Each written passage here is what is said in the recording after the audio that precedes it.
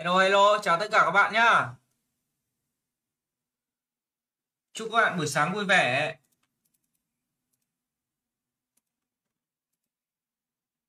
Ok, chào Minh Quân, chào Thảo, chào Võ Phước Sang. Chào tất cả các bạn. Các bạn điểm danh một chút trước khi buổi học bắt đầu nhá. Em comment là em đã học buổi 5. Hôm nay chúng ta đã đi được hơn một nửa chặng đường rồi đây các bạn.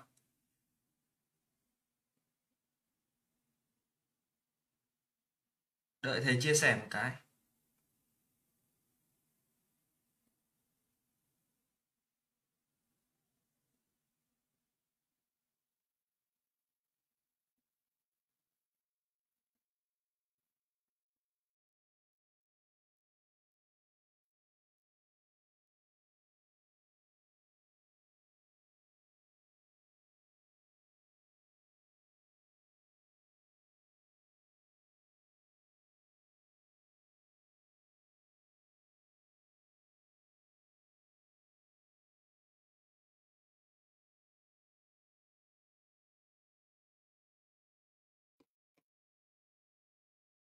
Ok. Rồi các bạn uh, thả một trái tim ở buổi live cho thầy để thi được 28 làm được 28 câu lý thuyết nhá. Uh, thông báo với các bạn một tin đó là trong ngày hôm nay thì là thầy sẽ tặng cho các bạn một khóa học quay sẵn nhá. Đấy. Trong ngày hôm nay thì thầy đã sẽ tặng cho các bạn một khóa học quay sẵn thì thầy đang dục cái chị mà làm cho thầy, chị up lên kênh youtube nhanh nhanh một chút để còn thầy tặng cho các bạn. Cái ninh ờ, thầy sẽ up một khóa học quay sẵn lên kênh youtube, thầy đã quay xong rồi và thầy ờ, sẽ không để cái ninh youtube đấy công khai. Thầy sẽ gửi cho, cái ninh đấy thầy sẽ để bí mật. Thầy sẽ gửi cho các bạn nào đăng ký trong ngày hôm nay, nhá. Thì thực ra thầy quay xong hai ba khóa cơ, không biết tặng khóa nào trước. Có một khóa là chữa các đề 28 câu lý thuyết như thầy vẫn chữa thì có một khóa là chữa 40 câu này. Đấy có một khóa thì dạy lý thuyết theo chuyên đề ví dụ như dạy là chuyên đề phân bón này chuyên đề sự điện ni này. Đấy, chuyên đề viết đồng phân este đấy. Nói chung là chưa biết tặng khóa nào chưa?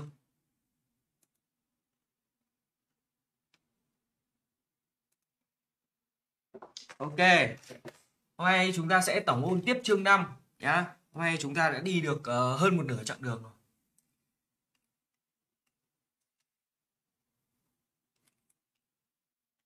Cũng nhiều bạn là không trụ được đến buổi hôm nay rồi.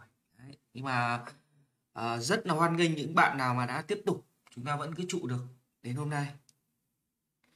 Có tố chất của người thành công ấy kiên trì chăm chỉ chịu khó. Tố chất thôi chưa chắc là chắc chắn là thành công mà có một chút tố chất. Lạnh quá thầy à ok nguyễn mạnh. Thầy thấy bình thường không lạnh lắm bởi vì ở trong nhà bây giờ các bạn hiểu là còn rất là nhiều người đang phải đi chạy xe ngoài đường còn bây giờ chúng ta vẫn được ở trong nhà chúng ta học là chúng ta cảm thấy hạnh phúc rồi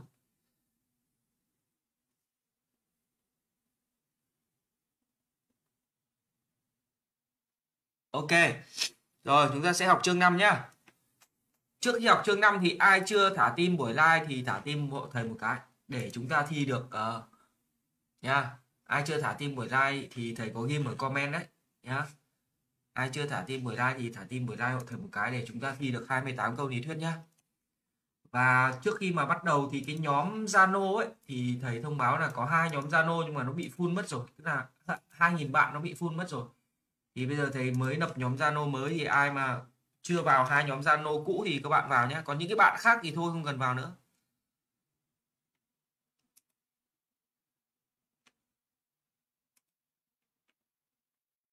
Các bạn khác thì không cần vào nữa nhá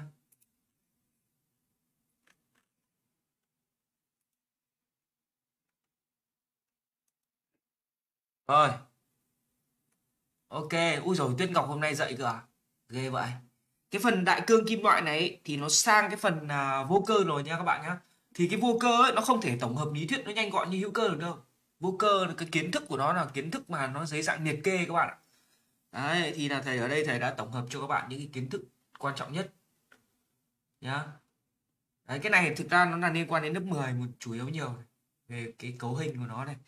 Và bây giờ các bạn có tính chất về dãy điện hóa của kim loại, đúng không? Tính chất của kim loại, dãy điện hóa của kim loại. Cái này thì thầy sẽ gửi file cho các bạn nhé đấy, tính chất của kim loại thì nó có tính gì các bạn? Tính axit này, đúng không? Tác dụng với phi kim, tác dụng với axit, tác dụng với nước tác dụng với muối. Tác dụng với bazơ thì có nhôm và kẽm dãy điện hóa đúng không? Dãy điện hóa thì các bạn nhớ quy tắc alpha chất oxy hóa mạnh chất khử mạnh thôi chất oxy hóa yếu chất khử yếu. Và kiến thức rất là quan trọng đó là kiến thức ăn mòn đấy các bạn. Kiến thức rất là quan trọng đó là kiến thức ăn mòn thì các bạn nhớ là ăn mòn thì có ăn mòn hóa học và ăn mòn điện hóa. Ăn mòn điện hóa thì có ba điều kiện nhá. Đấy, thì cái này các bạn sẽ đọc ở trong cái file này. Đấy, phương pháp chống ăn mòn thì có hai phương pháp này bảo vệ bề mặt bằng phương pháp điện hóa này. Tiếp theo là các bạn có cái phần à, bài tiếp theo là điều chế và điều chế kim loại đúng không? Đấy, có phần điều chế kim loại. Đấy, thì các bạn nhớ về đặc biệt là phương pháp điện phân điện phân dung dịch nó sẽ có một bài tập chắc chắn thi. Đấy, thì các bạn uh, ôn lại thì anh dạy các bạn cái cách viết quá trình điện phân ở đây cũng có dạy hết này.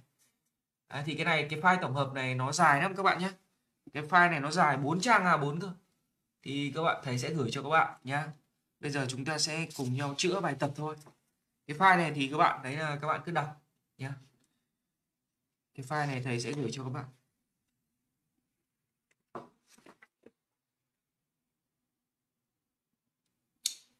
Rồi, bây giờ chúng ta sẽ chữa, cùng nhau chữa. Hôm nay cũng thế, hôm nay cũng có tầm ba mấy bốn mươi câu sau đó các bạn học tổng ôn xong cả 7 chương thì các bạn sẽ nắp ghép vào. Các bạn làm đề nhé Đấy. tổng ôn xong cả 7 chương các bạn sẽ gấp ghép vào các bạn làm đề. À thông báo một chút là khóa luyện đề đấy thì có lịch học rồi đấy nhá. Khóa luyện đề thì từ ngày 26 đến ngày mùng 3 thì thầy vẫn cứ dạy 5 buổi một tuần. Để ờ, để cuối tháng 3 đầu tháng 4 thì thầy sẽ có khóa tổng ôn nữa nha các bạn nhé Đấy, cái giai đoạn này chúng ta cứ tập trung luyện đề đi đã. Dạng nào yếu thì chúng ta vào nai C chúng ta học. Đấy. sau đó là cuối tháng 3 đầu tháng 4 thì thầy sẽ khai giảng thêm khóa tổng ôn nữa. Nhá, đấy, thì lịch học thì chúng ta vẫn chữa một đề 8 điểm, hai đề các trường và một đề vận dụng cao và một đề lý thuyết. Đấy, thì bạn nào tham gia khóa luyện đề, tối nay chúng ta học hai ca nhé tối nay có một cái ca cho các bạn học yếu là chữa đề 8 điểm và chữa một đề các trường. Thì bạn nào nhắn tin cho page nhé đăng ký học thì các bạn nhắn tin cho page rồi bạn nào tham gia luyện đề tối nay học 2k luôn thì chúng ta nhắn tin cho pet nhé bây giờ chúng ta sẽ chữa. Cái đoạn đầu tiên thì ai cũng phải nắm được, đó là cái đại cửa những cái nhất của kim loại, đúng không? Đấy, thì cái này chắc chắn ai cũng phải nắm được. Câu số 1 đi. Điều kiện thường kim loại trạng thái nào? Tức là nhiệt độ nóng chảy thấp nhất. Nhiệt độ nóng chảy thấp nhất thì nó chính là thủy ngân. Kim loại duy nhất tồn tại ở trạng thái nào? Được chưa? Tiếp theo này kim loại là sau đây dẫn điện tốt nhất thì dẫn điện tốt nhất là bạc nhưng mà nó đắt quá. Nên là chúng ta không dùng làm dây dẫn để bạc. Đúng chưa? Nên là ở trong cuộc sống ấy các bạn hình dung không? Thì các bạn phải chọn những cái thứ mà nó phù hợp với mình thôi chứ cũng chưa cũng không hẳn là phải là tốt nhất. Đúng không? Đấy, giống như kiểu dây dẫn điện tốt nhất là bạc nhưng mà có ai làm được dây dẫn bằng bạc đâu. Đúng không? Đấy, người ta làm dây dẫn bằng đồng với nhôm bởi vì nó phù hợp phù hợp ở đây phù hợp về mặt kinh tế. Đấy, các bạn hình dung là trong cuộc sống thì mình như thế thôi. Chưa chắc là những cái thứ tốt nhất nó đã phải là những cái thứ mà mình có thể làm được đúng không? Ví dụ ở những nước giàu thì nó làm bằng bạc nhưng mà ở Việt Nam mình thì phải nhôm với đồng thôi đúng không? Nó phù hợp với mình. Yếu tố phù hợp là yếu tố mà thầy vẫn vẫn nghĩ là quan trọng nhất. Đấy, chọn ờ, chọn người yêu cũng thế các bạn đúng không? Chọn giáo viên học cũng thế. Chọn trường đại học cũng thế quan trọng là nó phù hợp với mình. Câu số 3 câu số 4 kim loại sau đây dẻo nhất dẻo nhất thì chắc chắn là vàng rồi. Vàng là kim loại dễ dắt mỏng nhất, nhá. câu tiếp theo, câu 4 kim loại sau đây có độ cứng lớn nhất thì chắc chắn là cờ rớt rồi. Yeah. câu số 5 kim loại sau đây mềm nhất mềm nhất thì các bạn hiểu là nó là kim loại CC thôi, đúng không? Còn niti này nó là khối lượng liêng nhỏ nhất. Natri kali nó cũng mềm nhưng mà không phải mềm nhất, đúng không? Kim loại nào sau đây có nhiệt độ nóng chảy cao nhất thì chắc chắn là vôn vật lam làm dây tóc bóng đèn đúng không? Người ta quy ước kim loại nhẹ là kim loại có tỷ khối. Thì khối này đơn vị là gam trên cm khối sao, đúng không?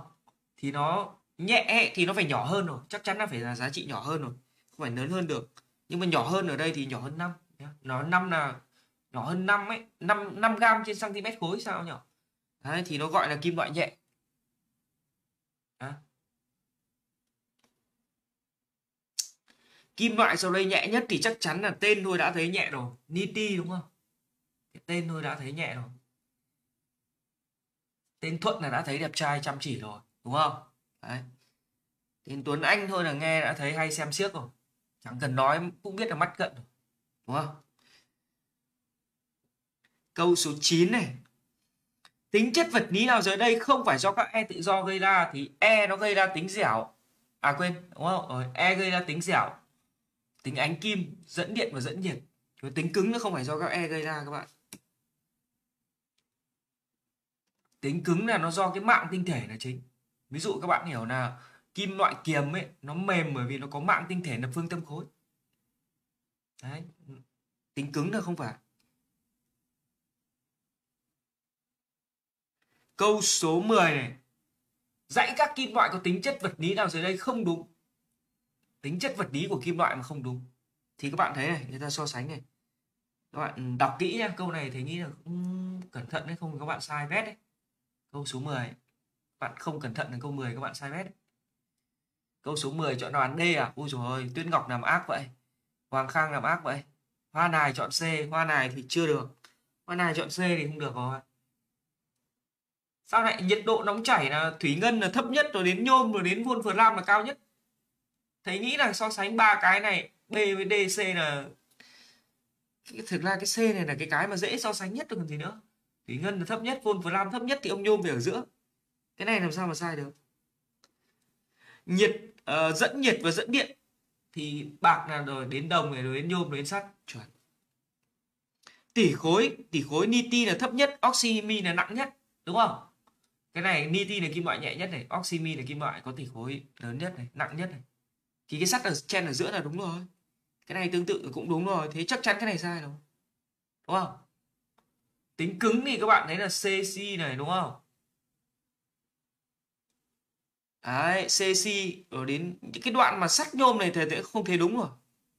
Các bạn biết là nhôm là kim loại dẻo hơn sắt chứ, đúng không? Nhôm là dẻo và nhẹ. Người ta dùng trong kỹ thuật hàng không. Còn sắt thì nó cứng hơn rồi, sắt cứng hơn nhôm chứ các bạn. Sắt làm sao mà mềm hơn nhôm được? Câu 10 chọn đáp án D.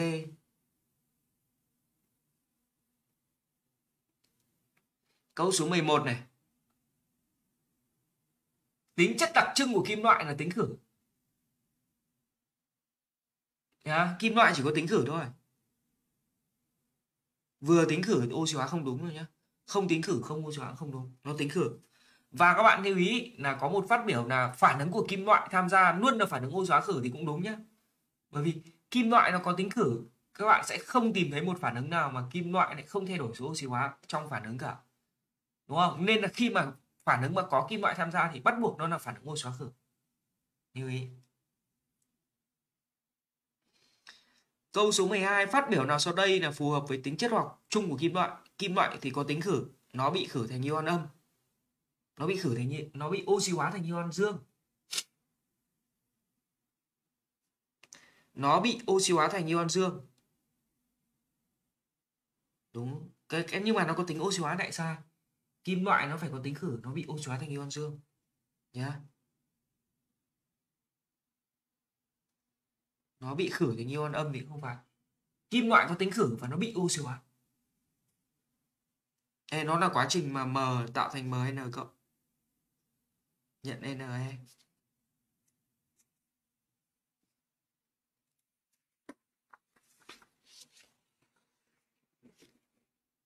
Câu số 13 này. Dãy kim loại tác dụng được với nước ở nhiệt độ thường thì chắc chắn là khi bà con nào rồi đúng không? Đấy, câu này thì dễ, ai cũng làm được. Câu số 14, 15 nhá.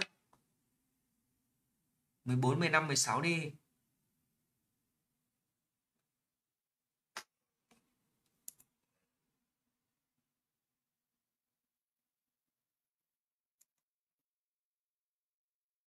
Trà My 14D, Hoàng Khang 14D, Nguyễn Thu Trang 14D, Nguyễn Khánh My 14D, ok.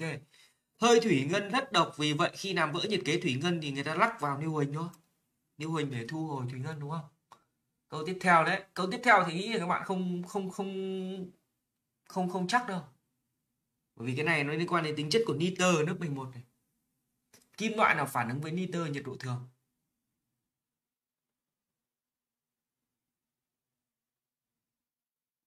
Câu số 15 15 đấy, các bạn vẫn nhớ đấy.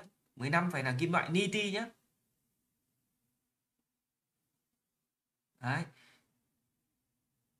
Mặc dù các bạn biết là natri với lại kali là tính kim loại của nó là mạnh hơn niti đấy.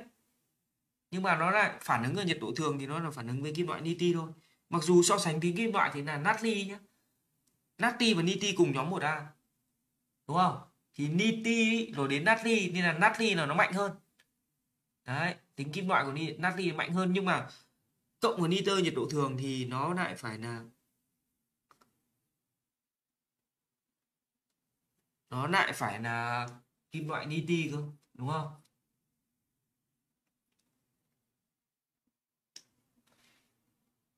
Câu số 16, 17, 18 này. Dung dịch COS4 tác dụng được với tất cả các kim loại. Đồng thì không cộng được. Muối đồng thì không cộng được với đồng. Không cộng được với bạc. Đấy. Không cộng được với lại thủy ngân đâu. Chỉ có magie, sắt và magie, kẽm và sắt. Nhá. Câu số 17. Kim loại Ni phản ứng ngược với tất cả các muối ở trong dung dịch nào sau đây? Ni thì các bạn biết là nó không thể đẩy được natri ra khỏi muối đâu. Không thể đẩy được magie. Không thể đẩy được natri ra khỏi muối. Chỉ có đẩy được bạc, đẩy được đồng, đẩy được chì 17D ok. 18, 19, 20 này. Kim loại có tính chất vật lý chung là tính dẫn điện, dẫn nhiệt, dẻo và ánh kim. Đấy các bạn nhớ bốn tính chất vật lý chung này, này. Nguyên nhân thì chắc chắn là do các E tự do rồi. Đúng không? Phải nhớ là E tự do nhé. Câu số 19. Kim loại khác nhau về độ dẫn điện, dẫn nhiệt, dẻo và ánh kim nữa thì bản chất nó vẫn là các do E tự do gây ra, đúng không?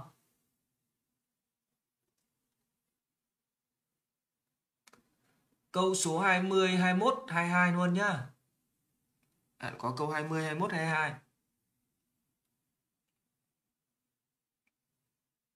Có bốn kim loại nhôm, magie, sắt, đồng và bốn dung dịch kẽm bạc kẽm sunfat, bạc nitrat, đồng clorua, Ar2SO3 đồng sunfat này. Kim loại tác dụng được với cả bốn dung dịch thì chắc chắn là một kim loại mà magie rồi, magie nó mạnh hơn nhôm.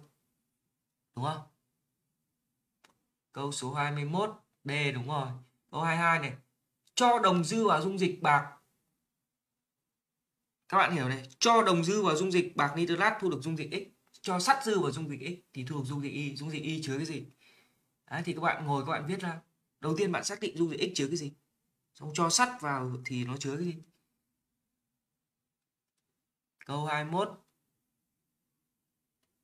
21 này các bạn có đồng vào muối bạc nitrat thì nó sẽ tạo thành muối đồng nitrat. Bởi vì ở đây ở đây không có bạc nhá. Bởi vì các bạn hiểu là cái đồng này nó dư. Sau đó các bạn cho sắt vào dung dịch. Sắt lại đẩy đồng đúng không? Mà sắt ở đây là sắt dư này. Thì dung dịch nó chỉ có muối sắt thôi nhá. Nó không còn muối đồng nữa. Bạn hiểu nó không còn muối đồng nữa. Sắt ba thì không đúng rồi. Sắt hai thôi. Sắt mà đẩy cộng với đồng mà sắt dư thì nó cũng chỉ nên được muối sắt hai. Kể cả bạc cộng dư nó cũng chỉ nên được sắt hai thôi. Chứ nó không thành sắt ba được. Câu số 22 trong các phần tử, nguyên tử hoặc ion sau, phần tử đóng vai trò là chất khử, vừa đóng vai trò chất oxy hóa, thì nó phải số xóa trung gian đồng này chỉ có tính khử thôi canxi này tính oxy hóa thôi oxy này là tính oxy hóa thôi oxy hai trừ này chỉ có sắt hai này sắt hai nó là số oxy hóa trung gian của sắt không và sắt ba rồi Đúng chưa? Đấy.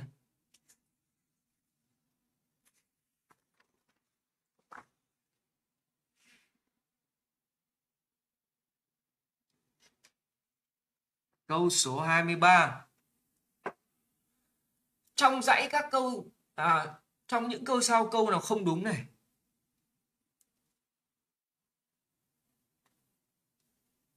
Không đúng nha. 23 các bạn nhớ là nó là không đúng.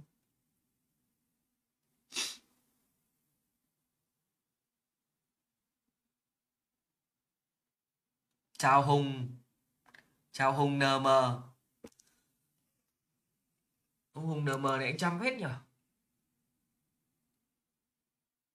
ai chưa thả tim thả tim buổi live hội thầy một cái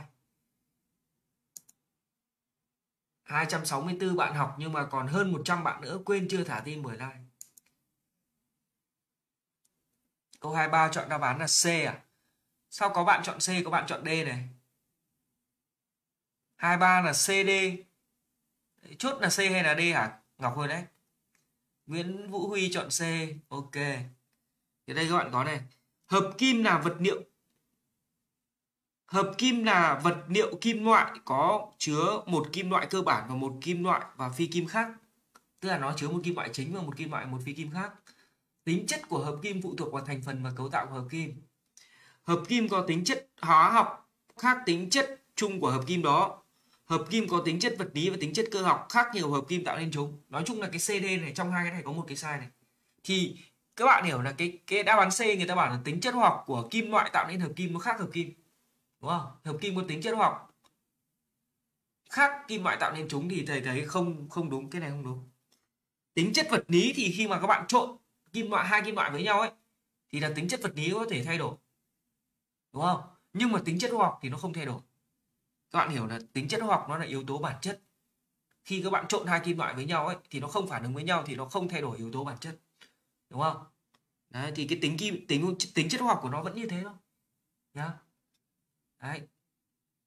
Tức là tính chất hóa học của hợp kim thì nó giống với lại tính chất hóa học của kim, các kim loại tạo nên hợp kim. Đúng không? Chứ nó không phải là khác đâu.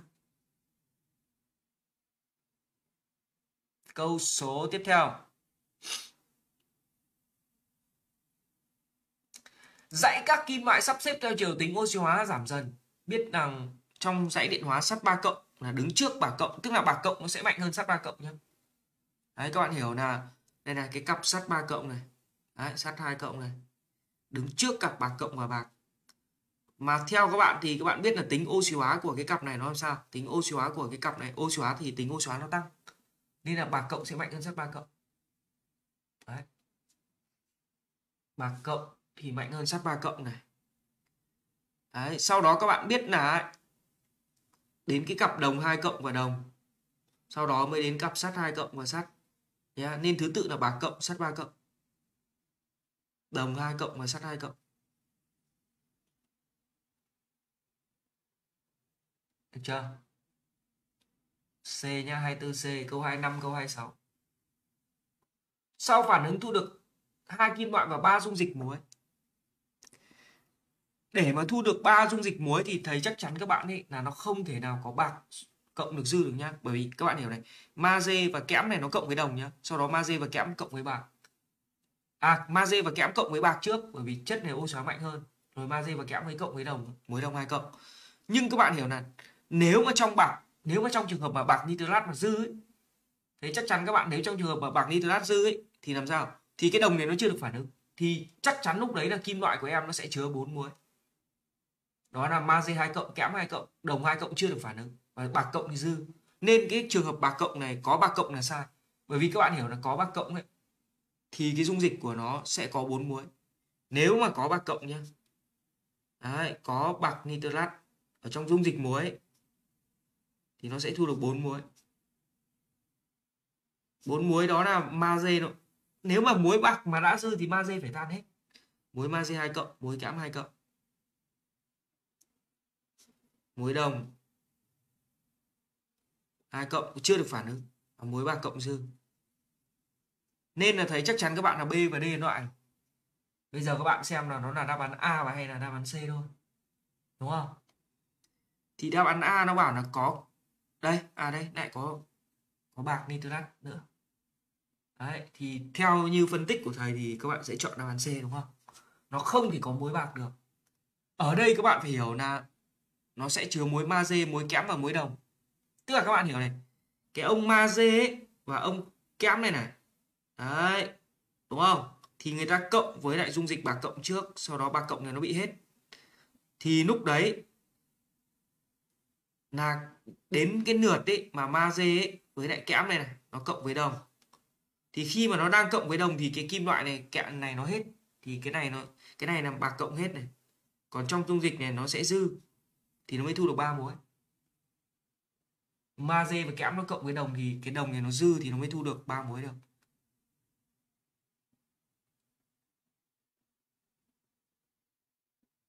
Câu số 26 nhá. 26 này các bạn viết cẩn thận nhá. Nói chung là khi mà các bạn làm cái bài toán ấy mà kim loại vào muối thì các bạn cứ xác định đúng cái thứ tự phản ứng các bạn viết phương trình ra thì các bạn sẽ xác định được chuẩn. Nhá. Tức là bắt buộc em phải nắm được thứ tự của phản ứng trong cái bài toán kim loại và muối. Thì cứ nhớ là chất oxy hóa mạnh cộng chất khử mạnh trước. Đúng không? Ví dụ như bài này có hai kim loại và muối, một muối này, thì bạn phải biết là kẽm này tính khử nó mạnh hơn thì nó cộng với trước sắt. Đúng không? Đấy. các bạn lấy giấy bút ra các bạn làm nhá các bạn phải lấy giấy bút ra các bạn làm. Nói chung là cái cách học như này là thấy là tiết kiệm thời gian nhất cho các bạn rồi. Tức là các bạn dạy các bạn học trực tiếp cùng thời. Thì sau này các bạn không phải xem lại nữa. Đấy, câu nào sai thì mình đánh dấu lại thôi. Lúc nào mà các bạn thầy gửi tài liệu này các bạn cần thì các bạn làm lại một lượt nữa cho nó chắc. Yeah. chứ còn ví dụ như mà học lý thuyết này ấy, mà thầy gửi file tài liệu trước cho các bạn là các bạn lại mất thời gian các bạn ngồi làm Đấy, xong là hôm nay các bạn lại mất thời gian các bạn xem thầy chữa nữa thì là nó đi đâu đâu đó là nó mất thời gian của hai lần còn nếu mà thầy không cho các bạn file trước các bạn ngồi các bạn làm cùng thầy này xong các bạn xem các bạn các bạn xem chữa luôn thì nói chung là nó tiết kiệm thời gian hơn mà làm trực tiếp xong là như kiểu là thầy học cùng các bạn thôi chứ các bạn không phải làm xong các bạn xem người khác chữa chỉ mất một lượt thôi câu 26 nhé. 26 thì các bạn thấy là cái thứ tự ở đây là kẽm phải cộng trước này. Kẽm mạnh hơn, nó cộng với bạc nitrat trước. Thu được kẽm nitrat cộng với bạc hai ở đây, hai ở đây, đúng không? Đấy, sau đó phản ứng này xảy ra xong ấy, thì là sắt cộng với bạc nitrat. Thu được sắt nitrat. Sắt hai nhá, cộng với bạc nếu mà cái phản ứng này xảy ra tiếp mà bạc nó vẫn dư ấy, thì nó còn xảy ra phản ứng cuối cùng. Đó là sắt hai nitrat. Cộng với bạc nitrat. Được sắt 3 nitrat. Cộng với bạc. Đấy, thì ở đây người ta bảo là gì? Cho sắt mới lại kẽm vào dung dịch bạc nitrat. Sau phản ứng thu được dung dịch chứa hai muối và chất tan y chỉ có một kim loại thì thầy chắc chắn bạn kim loại này là bạc đúng không? Thì bây giờ nếu mà trong trường hợp mà nó thu được sắt 3 và kẽm thì cũng được. Tức là nó đang xảy ra phản ứng 3 đang xảy ra phản ứng 3 đấy, thì cái ông bạc này hết. Thì lúc đấy là cái dung dịch của mình ấy, nó sẽ chứa muối sắt 3 này. Đúng không? Và chứa muối kẽm. À trong cái trường hợp này nhá, đây là thầy đánh dấu là một, phản ứng 2 và phản ứng 3 thì để mà thu được muối kẽm và muối sắt ba ấy, thì ở đây là các bạn hiểu cái điều kiện để thu được muối kẽm và muối sắt ba ở đây nó là phản ứng ba xảy ra vừa đủ. Tức là lúc đấy sắt hai cũng hết và bạc cũng hết. Thì cái dung dịch này nó chỉ còn nó chỉ còn muối sắt hai và muối sắt ba nit kẽm kẽm và muối sắt ba nitrat thôi. Tức là để xảy ra cái điều kiện A này, này là phản ứng ba vừa phản ứng ba vừa hết. Các chất trong phản ứng ba đều phải vừa hết nhé tức là sắt phải vừa hết này và bạc này cũng phải hết. Hai chất này phản ứng vừa đủ với nhau. Thì cái sắt này nó hết và bạc nó cũng hết. Thì nó dung dịch có muối kẽm hai cộng và muối sắt ba cộng. Được chưa? Tiếp theo là trường hợp B này. Có muối kẽm và muối sắt hai nitrat. À, tức là lúc đấy nó chỉ xảy ra đến phản ứng hai thôi. Tức là đầu tiên là kẽm phản ứng xong kẽm hết này sau đó sắt phản ứng với bạc. Đúng không? Thì cái muối sắt nó tạo thành đây nếu như vậy thì trong cái trường hợp này nó xảy ra phản ứng hai và bạc hết tức là nó đang, nếu trong trường hợp này nó đang xảy ra phản ứng hai thôi, đến phản ứng hai, thì cái ông bạc nitrat này nó bị hết. Thì lúc đấy nó sẽ có muối kẽm hai cộng và muối sắt hai cộng. Còn cái muối bạc này nó bị hết. Đấy. Còn cái phản ứng C thì không được. C nếu mà có muối bạc nitrat nhé thì chắc chắn các bạn ấy, nếu mà có muối bạc nitrat đúng không? Thì làm sao? Nếu có muối bạc nitrat ấy thì các bạn hiểu là sắt tan hết kẽm cũng tan hết. Thì nếu mà có muối bạc thì chắc chắn là phải có muối kẽm rồi à muối sắt rồi. Còn bạc dư thì sắt phải tan hết. Nó phải nên luôn sắt ba nếu mà đã có bạc nitrat trong dung dịch ấy, thì cái kim loại sắt này nó phải tan hết và nó tên lên tận muối sắt ba. Nên cái đáp án này sai này. Chỉ có đáp án D thôi. Đấy, thầy phân tích cho các bạn rất là kỹ nhé tích cho các bạn rất là kỹ câu 26 câu số 27 cho hỗn hợp gồm sắt và kẽm vào dung dịch bạc nitrat đến khi phản ứng sơ hóa hoàn toàn thu được hai muối và chất rắn gồm hai kim loại. Đúng không? Thì ở đây các bạn nhớ này, điều kiện là tạo thành hai muối rắn gồm có hai kim loại. Thì nó như thế nào? Thì bây giờ các bạn viết này. Đầu tiên là kẽm trước, nó cộng với bạc nitrat trước. Thu được kẽm nitrat. Cộng với lại bạc. Đây là được một kim loại rồi nhá. Đúng không? Sau đó là đến sắt yếu hơn cộng sau. Sắt 2 nitrat cộng với bạc. Thì để mà thu được hai kim loại ấy, thì sau cái phản ứng này ấy, sắt phải dư. Đúng không? Thì mới thu được hai kim loại là bạc và sắt. Hai kim loại ở đây nó chính là bạc và sắt. Dư. Vậy thì dung dịch chắc chắn nó chứa muối kẽm hai cộng đúng không? Và nó chứa muối sắt hai cộng. Chứ nó không thể chứa muối sắt ba cộng được. Nếu có bạc này dư thì nó chứa muối sắt ba cộng. Mất. Đúng không? Nếu có muối bạc này dư kiểu gì cũng có. Nói chung là bạc với sắt hai là không thể tồn tại được. Bạc, nếu có muối bạc thì phải có muối sắt ba. Đấy. Ở đây thì các bạn hiểu là nó là muối kẽm và muối sắt hai chứ không phải muối sắt ba được. Nhé đáp án A này thôi nếu mà nó chứa muối sắt ba ấy thì các bạn hiểu là nó không thể thu được hai kim loại bởi vì nhá các bạn hiểu này nếu mà để mà chứa được muối sắt ba ấy, thì cái sau cái phản ứng này bạc nitrat phải dư để nó cộng sắt hai. Mà nếu mà bạc nitrat dư thì sắt này nó tan hết rồi. Nên các bạn hiểu tại sao nó lại không thể chứa muối sắt ba được đúng không? Nó không thể chứa muối sắt ba này được. Bởi vì nếu mà muốn tạo thành muối sắt ba thì cái kim loại sắt này phải tan hết bạc nó phải dư. Thì nó mới cộng muối sắt hai này được.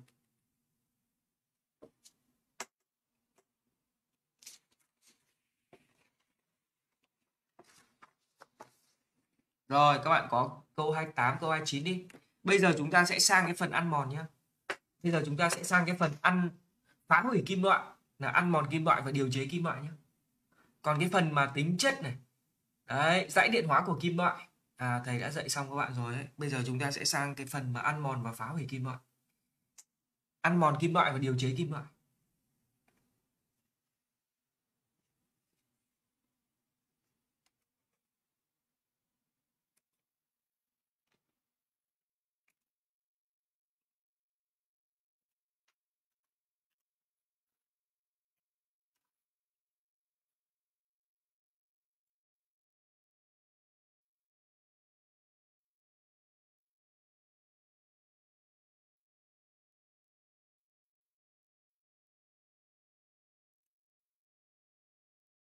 Câu số 28 28, 29 đi các bạn. Câu số 28 này. Hỗn hợp sắt đồng bạc và nhôm. Có bộ, có hỗn hợp gồm có sắt đồng bạc nhôm hóa chất duy nhất dùng để tách bạc. Thực ra là có các bạn cũng có thể dùng bạc nitrat được nhưng mà ở đây nó có một cái điều kiện là khối lượng không thay đổi nên bạn không thể dùng bạc nitrat được bởi vì nếu bạc hydrat thì khối lượng bạc nó sẽ tăng lên. Nên ở đây, sắt 2 thì các bạn biết là không cộng với bạc rồi. À không cộng với đồng rồi. Đấy. HNO3 thì nó cộng cả với bạc thì không được. Đây chỉ dùng muối sắt 3 thôi. Sắt 3 thì nó cộng được với sắt này, cộng được với đồng, cộng được với nhôm nhưng nó không cộng với bạc. Đúng không? Sắt 3 nitrat đấy thì nó không cộng được với bạc. Bởi vì các bạn hiểu này, sắt 3 cộng ấy, sắt 2 cộng thì nó nằm ở đằng sau bạc cộng và bạc. Nên là bạc cộng ấy thì nó cộng được với sắt hai cộng. Chứ còn sắt ba cộng thì không cộng được với kim loại bạc. Nhá.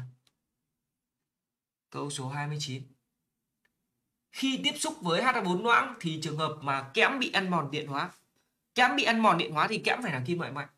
Các bạn nhớ chưa? Trong cái ăn mòn ấy, ăn mòn điện hóa này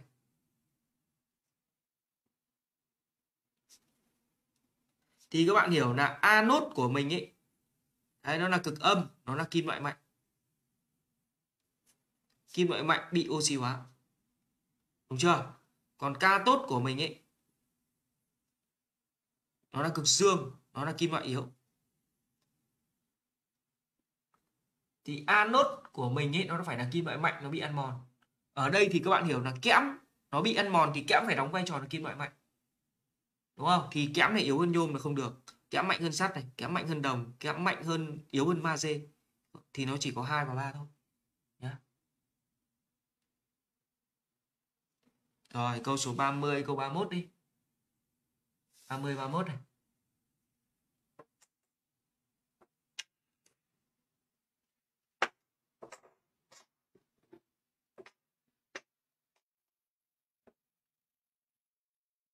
Chào Nguyễn Khánh Ni, chào Đức Việt. Chào Yến Ngân. Toàn những bạn tên rất là đẹp.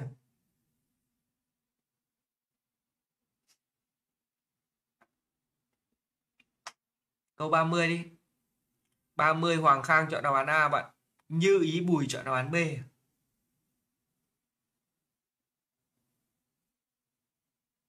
ba mươi đáp án nào?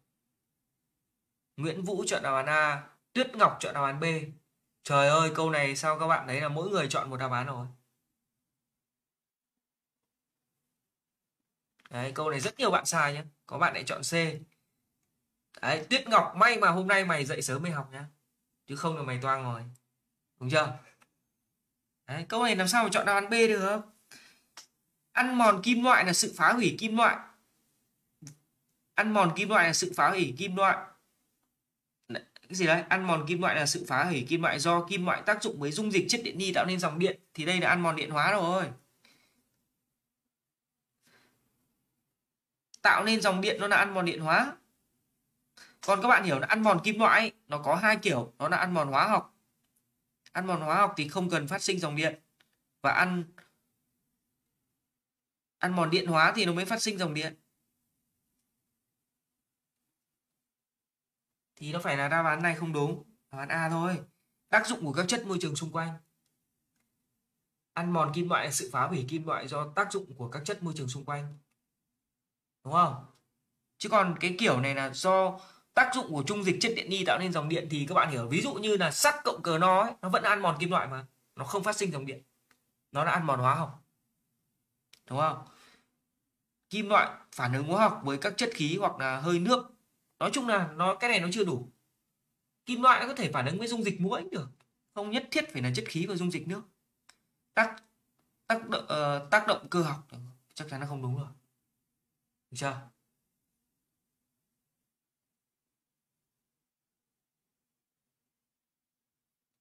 Câu số 31 câu số 32 ok. Ok Ngọc Hồi Nách Ôm buổi nào em cũng học à? Không để ý của comment của em thôi. Câu số 31. Ngâm một lá kẽm tinh khiết vào trong dung dịch HCN.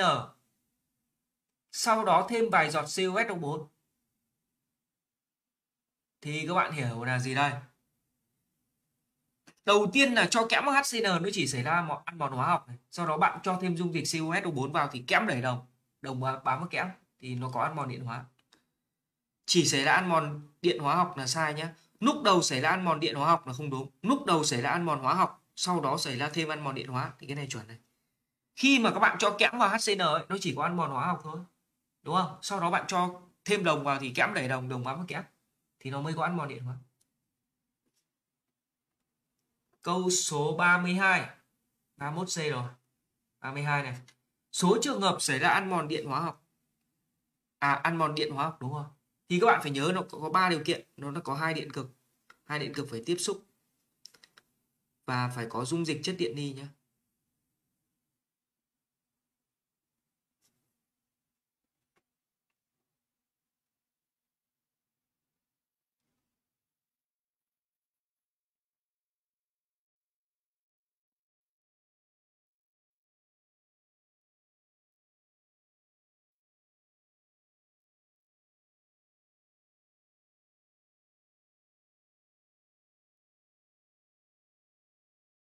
câu 32 chọn đáp án D 2 và 4 bạn Cao Hoàng Long lại bảo là 2 4 và 5 thì thấy là cái câu này mỗi người một đáp án rồi. Đây nhá. Đây có bạn uh, Trang Phúc và bạn Văn Trọng chọn đáp án B này. Bạn Bùi Như Ý lại chọn đáp án D này. Bạn Cao Hoàng Long lại chọn đáp án A này. Đấy mỗi người một đáp án rồi câu này các bạn thấy là mỗi người một đáp án khác nhau.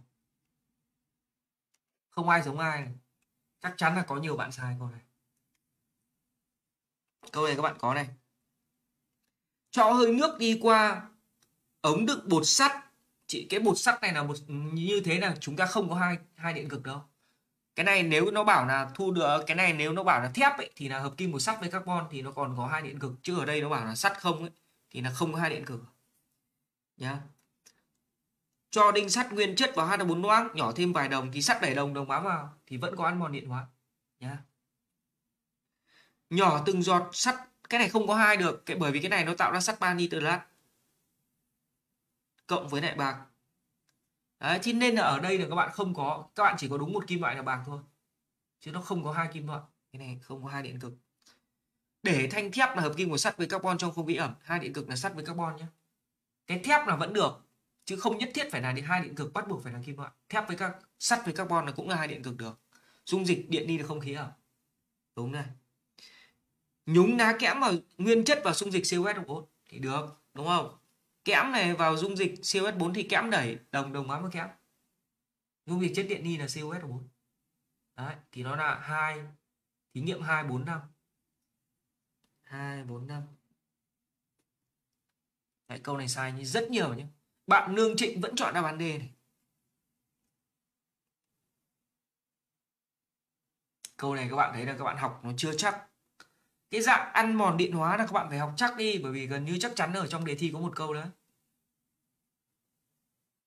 Ai chưa học chắc ăn mòn điện hóa thì nó cũng rất đơn giản thôi. Cứ có hai điện cực, hai điện cực tiếp xúc dung dịch kết điện đi.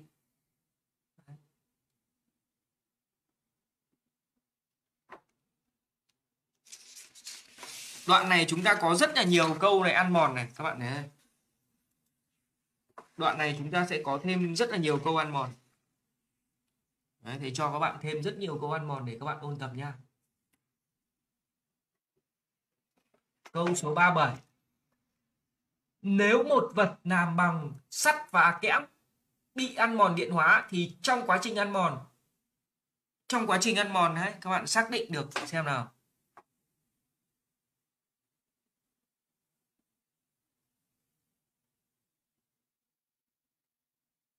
Câu số 33 nào. Nếu một vật bằng sắt và kẽm bị ăn mòn điện hóa thì trong quá trình ăn mòn này đâu là anốt, đâu là cathode này. 33 này, bạn Nguyễn Đức Đạt chọn đáp án B. Bạn Thu Hằng chọn đáp án B, bạn Anh Quân lại chọn đáp án D. Ok, đa phần các bạn đều chọn đáp án B, bạn Hoàng Khang lại chọn. Có mấy bạn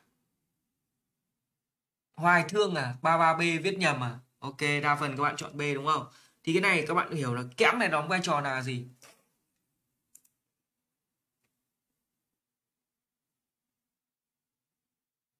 Trời, Facebook bây giờ nhá, Nó hơi bị ngáo một chút các bạn ạ.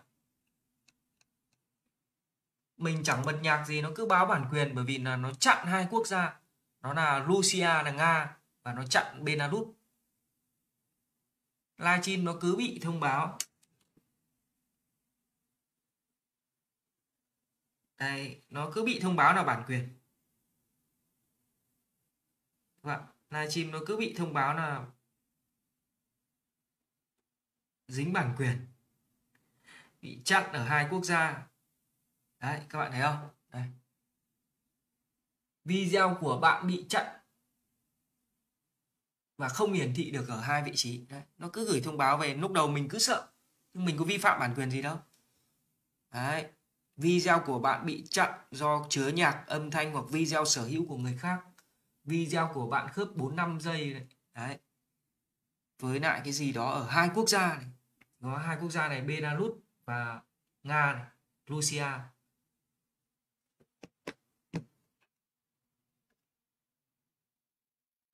Thực ra là cái này là do bọn uh, Facebook là của Mỹ các bạn. Facebook là của Mỹ. Thì uh, đang có chiến tranh uh, đang có chiến tranh Nga với lại Ukraine mà kiểu thế. Mỹ là người ta không thích cho Nga với lại Belarus là đồng minh dùng Facebook hay sao? Người ta chặn ở hai quốc gia này.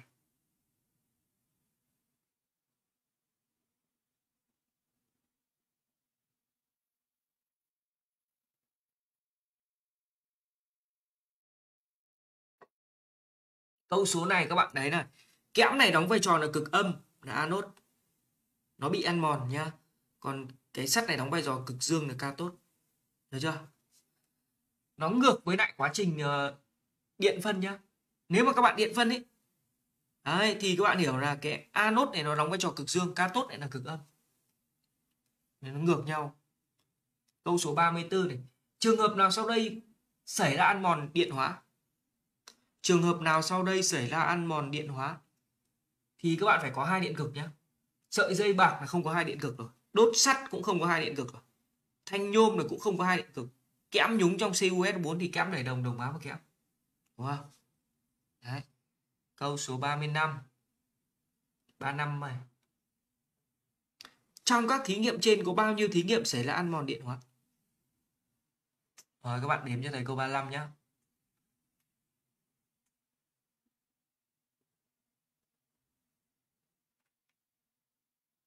nó sợ bên đấy nai chiến tranh vi phạm tiêu chuẩn cộng đồng, không phải đâu em? Belarus thì làm gì có chiến tranh? Nga cũng có, đâu có chiến tranh đâu. Đúng không? Chỉ có ở trên đất Ukraine mới có chiến tranh mà. Trên đất Nga, trên đất Belarus không hề có chiến tranh nhé chẳng qua là hai quốc gia đấy bị Mỹ người ta ghét. Người ta không thích nên người ta không không không cho dùng Facebook.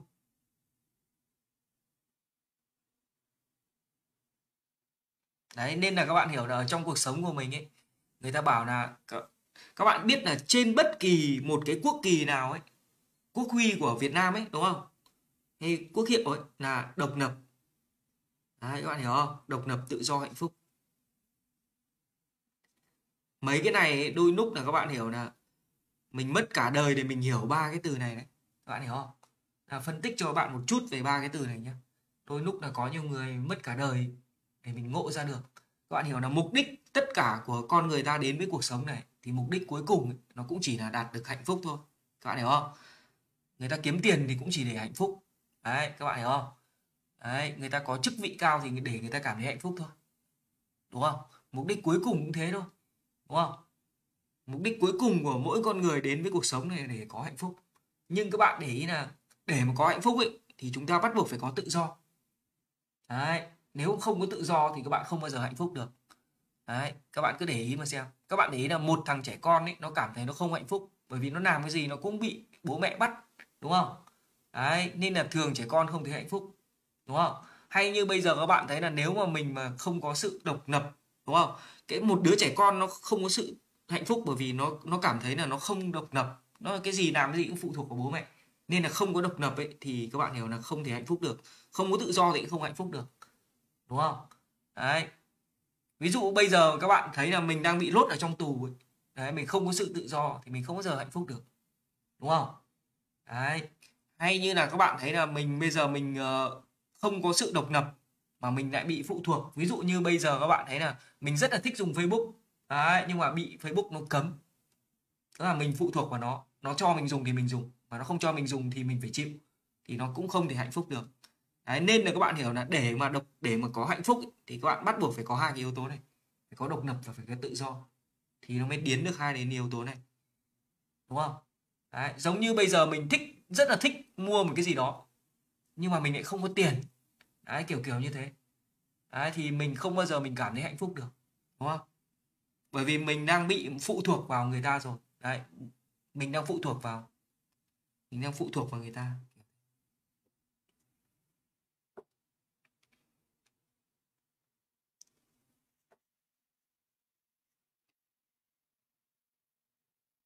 Nên là ví dụ như người ta bảo là gì nhỉ? Tiền không quan trọng thì theo thầy là không đúng đâu. Ở một cái mức độ thấp thì tiền rất là quan trọng. Đấy, bởi vì như kiểu cái tháp nhu cầu của Magnow ấy các bạn hiểu không? Trong cái tháp nhu cầu của Magno ấy thì cái cái cái yếu tố cơ bản là yếu tố sinh tồn này. Đấy, xong các bạn nhu cầu sinh tồn đấy xong nhu cầu thể hiện xong là nhu cầu cao nhất là nhu cầu cống hiến ấy. Thì ở cái nhu cầu thấp này này tiền nó rất là quan trọng. Tiền không quan trọng là không đúng. Nha các bạn nhé đấy ví dụ như ở cái nhu cầu thấp này các bạn hình dung là khi mà người ta có nhiều tiền rồi thì tiền không quan trọng nữa nhưng mà ở cái nhu cầu thấp này chúng ta cần phải ăn này đấy, chúng ta cần phải mặc này đúng không? Chúng ta cần phải có chỗ ở này thì tiền rất là quan trọng nó sẽ giúp các bạn có tất cả những thứ này. Còn các bao bao giờ các bạn thành tỷ phú rồi thì lúc đấy cái nhu cầu duy nhất của các bạn là nhu cầu cống hiến. Tức là mình để lại được cho cộng đồng cái gì? Thì lúc đấy tiền nó không quan trọng mà ở nhu cầu mà các bạn hình dung này còn chưa phải là tỷ phú như bác vượng ấy, thì tiền nó rất là quan trọng nha các bạn nhé nó giúp chúng ta có cái để ăn có cái để mặc có chỗ để ở đúng không? Câu số 35 tiếp tục nha đấy chúng ta còn có hai câu nữa thôi. Thầy biết căn giờ mà các bạn thầy biết căn giờ mà. Trong thí nghiệm này có bao nhiêu thí nghiệm xảy ra ăn mòn điện hóa ngâm một lá kẽm vào dung dịch đồng thì kẽm đẩy đồng đồng bám vào kẽm ok này. Còn đồng và muối sắt 3 thì nó chỉ có CuCN2 và cộng với FeCN2 đúng chưa? Thì nó không có hai điện cực. Đúng không? Nó không có đồng đẩy được sắt sắt bám vào đồng cả.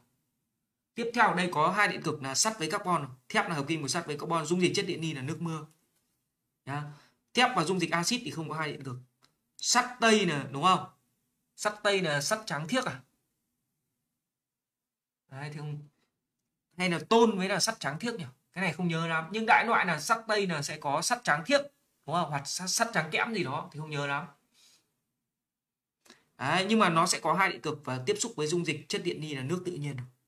Thì đây nó có ba cái này. Là A, C và E. 35C, A, C và E thôi. Chưa? Câu số 36 này. Số trường hợp xảy ra ăn mòn điện hóa. Đấy, cái này cũng dễ thép là hợp kim mà các bạn thép là hợp kim thép là hợp kim của sắt với carbon mà Đấy, tiếp theo này sắt vào dung dịch HCN có đồng thì có hai điện cực sắt để đồng đồng bám vào sắt. Sắt vào muối sắt 3 thì nó chỉ thu được muối sắt 2 nó không có hai điện cực. Đấy, ná thép là hợp kim của sắt với carbon. Trong dung dịch CuSO4 là được. Chưa? Sắt vào muối đồng thì sắt đẩy đồng, đồng bám vào sắt. Chưa? Kẽm vào HCN thì không có hai điện cực. Đấy, cái này cũng có ba cái. 1, 3 và 4. Cũng dễ thôi. 36B 1, 3 và 4 câu 37 này câu cuối cùng này. À, các bạn có gì đây? Nếu mà các bạn cho nhôm mà HCN thì có khí thoát ra. Khi các bạn cho thêm đồng vào nữa thêm muối đồng sunfat vào thì người ta hỏi là khí thoát ra như thế nào? Tốc độ khí thoát ra như thế nào?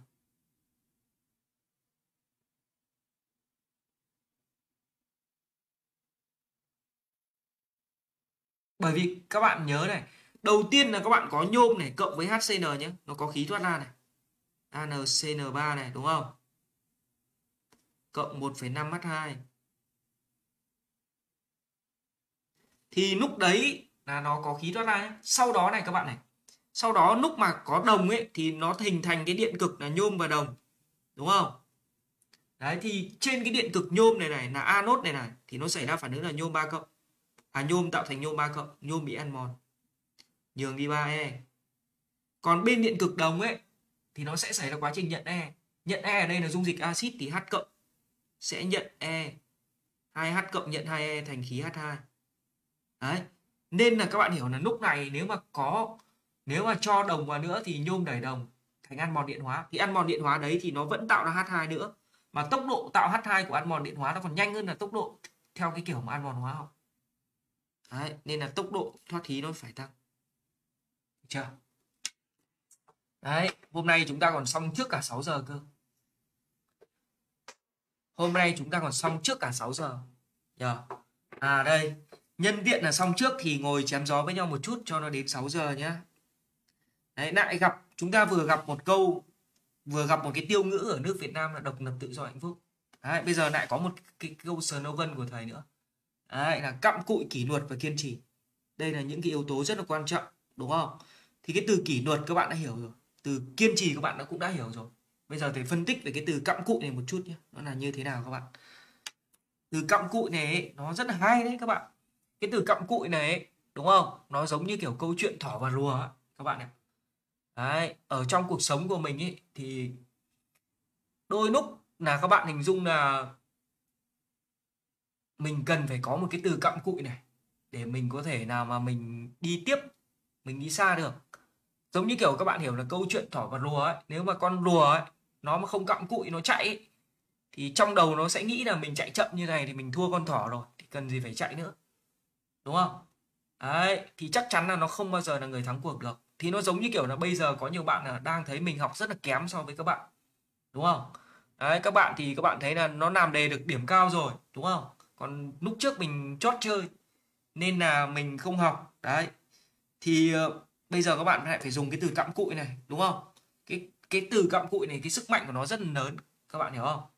Đấy nếu mà các bạn cứ quan tâm người khác làm như thế nào ấy người ta đang ở đâu ấy mình nghĩ là mình không bao giờ bằng người ta được ấy không bao giờ đuổi kịp được ấy thì các bạn sẽ bị nản. Nên là cái từ cặm cụi này, nó dùng nó rất là hay.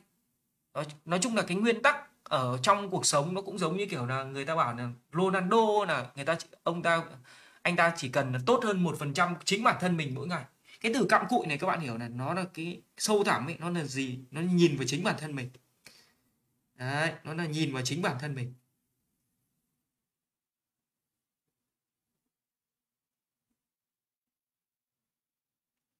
Được chưa? Và các bạn hiểu là cái cái này nó giống như kiểu là mình nhìn vào chính bản thân mình mình tốt hơn bản thân mình ngày hôm qua là được. Tốt hơn một phần trăm, gần một phần trăm thôi.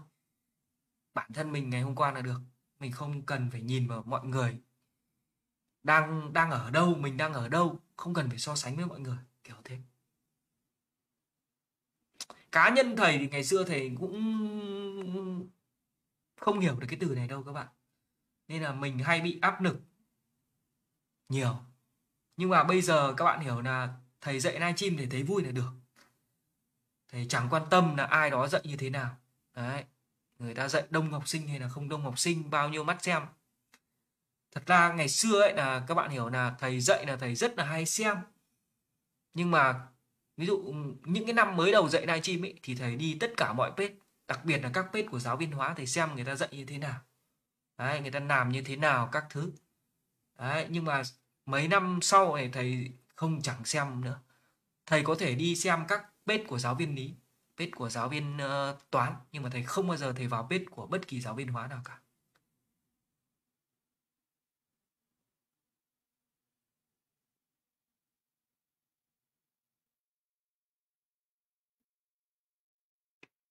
Tại vì các bạn hiểu là mình ờ, không phải là mình không học hỏi. Các bạn hiểu không?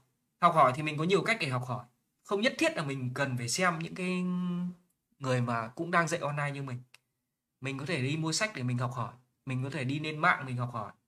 Ở các trang web mình học hỏi. Đấy, nhưng mà thầy ờ, thầy không thích xem các trang ờ, của giáo viên dạy online khác. Bởi vì mình không thích giống họ.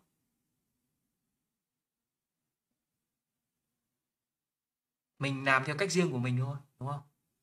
Bởi vì các bạn hiểu là sau này các bạn sẽ hiểu hơn về cái việc mà cái công việc mình làm ấy để mà mình trường tồn được ấy thì mình cần phải có một cái gì đó riêng của mình. Giống như kiểu các bạn hình dung là sơn tùng người ta đông fan như thế đúng không? Nhưng không phải quân ip không có fan không phải rách không có fan đúng không? Đấy, không phải Elix không có fan không phải là Đức Phúc không có fan. Các bạn hiểu không? Mỗi người người ta có một cái điểm riêng của người ta đúng không? Ờ, ví dụ như thầy dạy các bạn hiểu dung là chẳng hạn như dạy rất là kiểu, dạy rất là nhiều tiểu đấy, nhưng mà chắc chắn là mình cũng vẫn có số lượng học sinh thích của riêng mình. Các bạn hiểu không?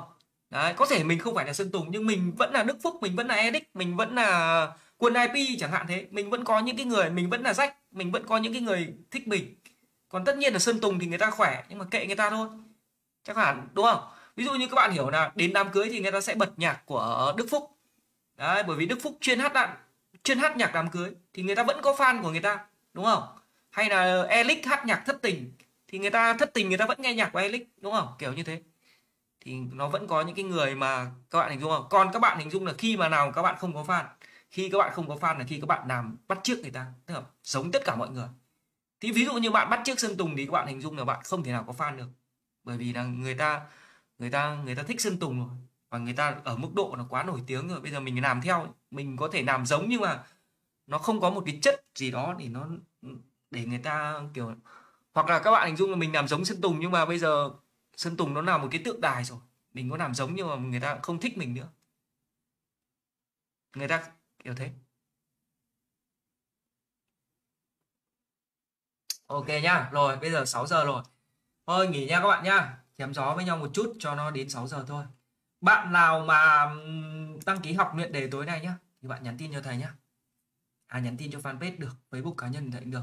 Chúng ta vẫn được tặng khóa này c, vẫn được tặng khóa quay sẵn 40 đề vẫn được tặng ba cuốn sách trị giá 600k ok, bye bye, chào tất cả các bạn. Hẹn các bạn buổi sáng mai nhé hôm nay thì thầy sẽ dạy ở trong nhóm luyện đề 2k thôi. Chào tất cả các bạn.